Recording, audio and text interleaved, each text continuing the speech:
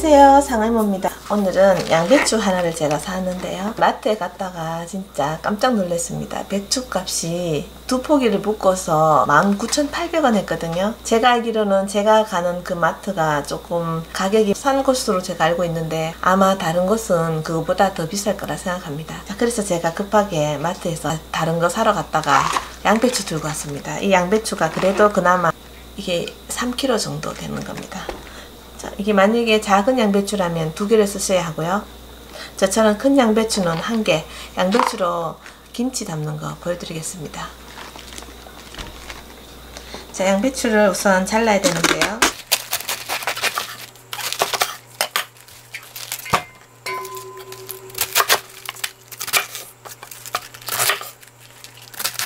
양배추 씻을 때는 이렇게 씻으시면 돼요. 완전히 나, 이렇게 뜯어서 씻지 마시고 이렇게 흐르는 물에서 이렇게 이런 식으로 물 흘리면서 씻으면 되거든요. 자, 이거를 씻어서 준비할게요. 우선에.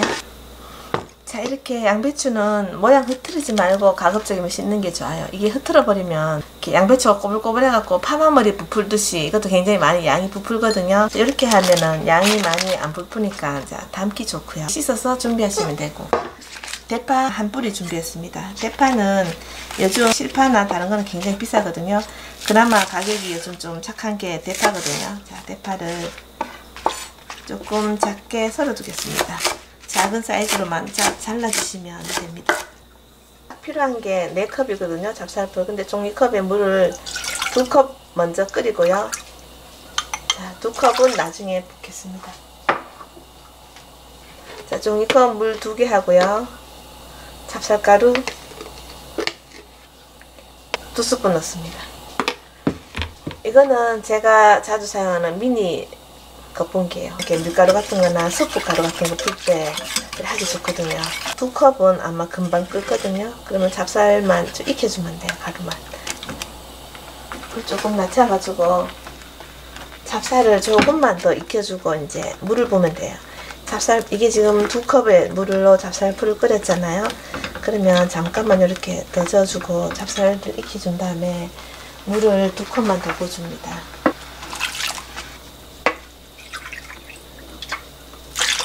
물을 끄고요. 요것만 이렇게 잘 섞어주면 돼요. 물론 요것도 아까처럼 미니 거품기로 저어주면 또 더 잘 되겠죠. 이렇게 하면 찹쌀풀도 이미 식었고 바로 이제 김치 담으면 돼요. 식힐 시간 필요 없고요. 바로 하시면 됩니다. 다른 김치와 다르게 양배추는 절이지 않고 바로 담는데요. 양배추는 수분이 배추나 무만큼 그렇게 많진 않아요. 김치가 너무 수분이 없이 뻐석 말라가지고 담아도 맛있게 안 익거든요. 그 자체만으로 양념을 해놔도 국물이 그렇게 많이 생기지 않습니다. 찹쌀풀을 금방 끓였는데 제가 생수 두 컵을 부어서 지금 해놨잖아요. 그래서 지금 미지근한 상태예요. 이 미지근한 상태에서는 바로 양념하셔도 괜찮습니다. 자, 고춧가루를요. 한 컵 넣고요. 자, 반 컵 더 넣습니다. 이렇게 빨리 섞어 놓으면은 고춧가루가 이제 빨리 불어나겠죠.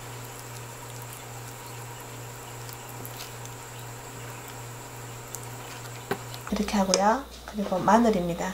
마늘은 자 종이컵 한 컵 찍은 거예요. 마늘 조금 넉넉하게 넣어서 담을 겁니다. 자, 종이컵 한 컵이고요. 그리고 멸치 액젓입니다. 멸치 액은 소주잔으로 종이컵은 180ml고요. 소주잔은 50ml입니다. 자, 소주잔으로 두 개 넣습니다. 참치액 하나 넣고요.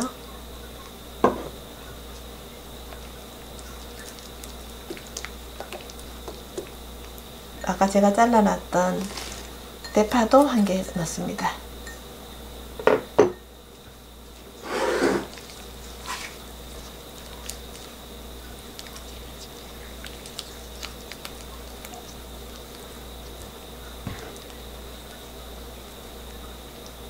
그리고 이제 여기다가는 다른 김치와 다르게 진간장 조금 쓸게요. 자, 진간장 반컵 쓰겠습니다. 소주잔 반 컵입니다. 자, 이렇게 해서요. 이거를 한번 찍어서 한번 드셔보세요. 그러면 이게 좀 짭짤하다는 느낌 들 거예요. 이게 짭짤해도 괜찮은 게 양배추가 간이 전혀 안 됐고요. 이게 거의 3kg 가까운 양이잖아요. 이 3kg 가까운 양을 간을 배이게 하려면 이 정도 양념은 짭짤하게 돼야 돼요. 이렇게 해서 여기다가 이제 넣으면 되는데요. 자, 이렇게 넣으면 됩니다.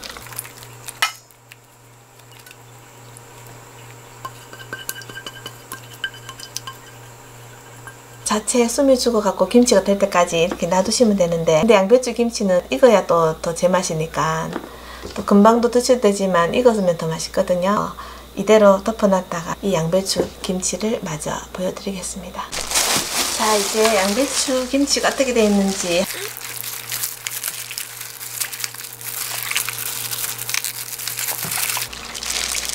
자, 이렇게 밑에는 좀 숨이 죽었고요. 위에는 또 숨이 덜 죽었거든요. 자, 이럴 때 한번 이렇게 잘라주면 돼요, 가위가. 처음부터 잘라서 김치 담으면 양이 많아서 이렇게 숨을 좀 죽고 난 다음에 부분적으로 잘라줘도 충분하게 되거든요. 이렇게 한번 해보시면 좀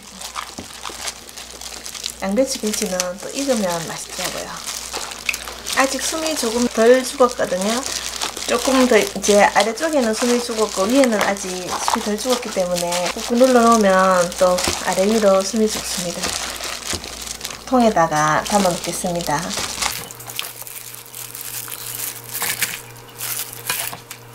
양배추 김치는 바깥에서 익히셔도 될 것 같아요. 양배추 김치는 절이지 않아도 그렇게 물이 많이 생기지 않죠. 이 정도의 국물은 있어야지 이게 맛있게 있거든요. 국물 없으면 너무 마른 김치가 돼서 안 좋아요. 이게 그래서 제가 찹쌀풀 양도 다른 김치보다 많이 잡았습니다.